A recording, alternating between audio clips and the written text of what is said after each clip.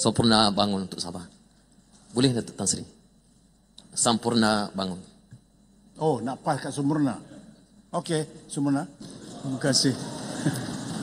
Terima kasih Pak Mas dan terima kasih Yang Berhormat Menteri yang telah menjelaskan secara terperinci tentang ukuran dan uh, apa nama kemiskinan itu.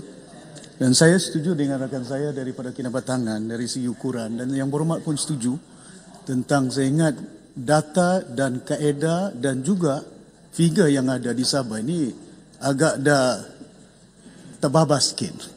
It doesn't reflect dengan izin the reality.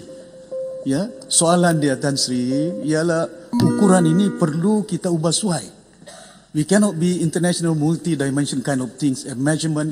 Lepas itu kita gunakan kaedah IKASI. Saya ini Menteri Kampung lama. Hampir 8 tahun. Menjelajah ke Kapit, macam mana bantu Kapit, orang miskin di kawasan dia. Macam mana kita bantu. Saya tidur rumah panjang.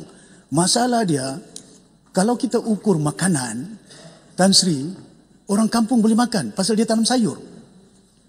Orang kampung boleh makan ikan pasal dia tangkap ikan. Tapi bila antar anak ke hospital, tidak ada duit. Kalau antar anak ke sekolah, tak ada duit.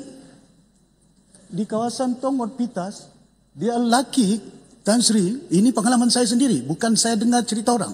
Saya masuk kampung. Dia laki kalau nampak RM50 sebulan. Not RM50 itu. Saya pun dah teguh dahulu kerajaan masa saya berisan nasional. We cannot use the concept of one-off. Brim satu, satu ribu, dua ribu.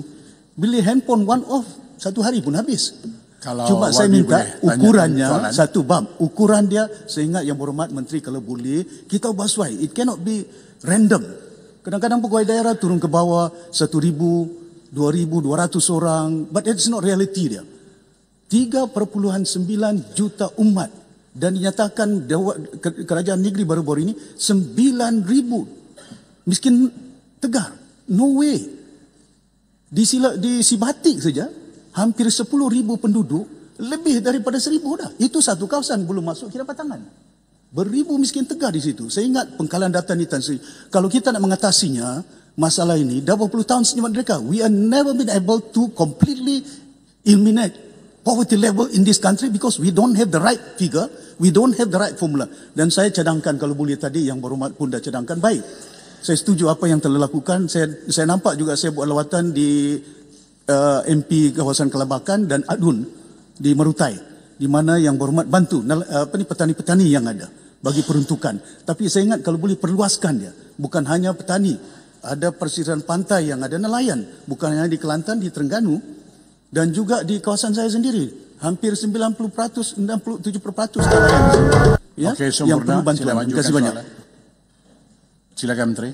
Terima kasih Tuan Sri Yang Ketua. Terima kasih sempurna. Saya ingat kita kena uh, rangkumkan dan ada pendekatan yang bersepadu. Kerana dari segi kaedah pelaporan itu, kita tertakluk kepada kaedah pelaporan antarabangsa.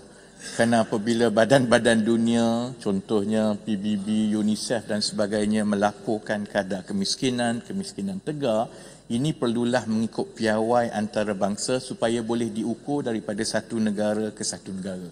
Jadi sebab itu kaedah miskin tegar itu memang secara piawai dunianya ialah mengukur kebolehan untuk uh, memenuhi kehendak kalori makanan. Uh, miskin mutlak yang selalu sebut miskin itu yang garisnya sekitar 2960 untuk satu negara ialah yang mengukur kehendak perbelanjaan-perbelanjaan lain. Jadi saya rasa sedia maklum selalunya kita tidak membezakan di antara miskin tegar dan juga miskin. Uh, kalau miskin itu dia lebih tinggi berbanding dengan miskin tegar.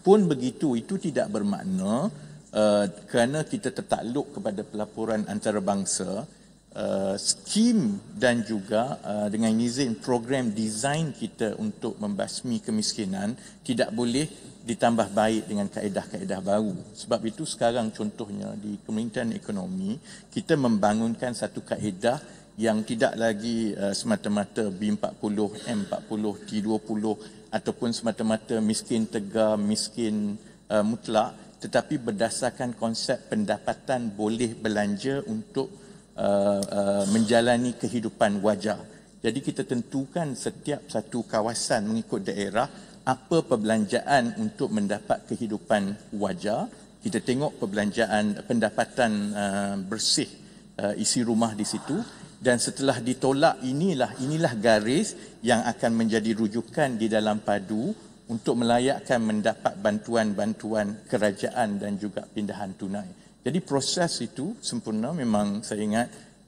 you know hampir siap eh. Yang uh, menjadi kegusaran saya ialah sekiranya ada keciciran daripada pendaftaran isi rumah isi rumah dan yang inilah yang menjadi cabaran yang lebih besar di terutamanya di Sabah kerana kita akan mengambil masa untuk memastikan semua isi rumah tu ada di dalam pengkalan data. Kaedahnya itu memang dia akan beralih daripada garis 1100, 1300 kita tengok perbelanjaan, kita tengok pendapatan.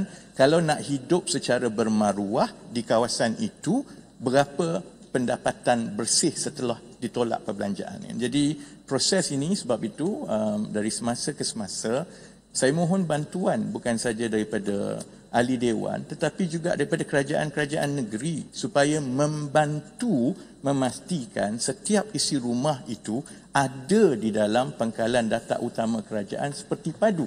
Dan kalau ini boleh berlaku, barulah kita dapat memastikan datanya itu lebih sesuai dengan kehendak pembasmian kemiskinan kita dan bila datanya tepat, kaedahnya tepat, bila hendak disalurkan bantuan, sebahagian besar mereka itu telah pun berada di dalam pangkalan data. Barulah proses ini dapat dilaksanakan dengan lebih baik di masa hadapan. Terima kasih, Baik, terima kasih.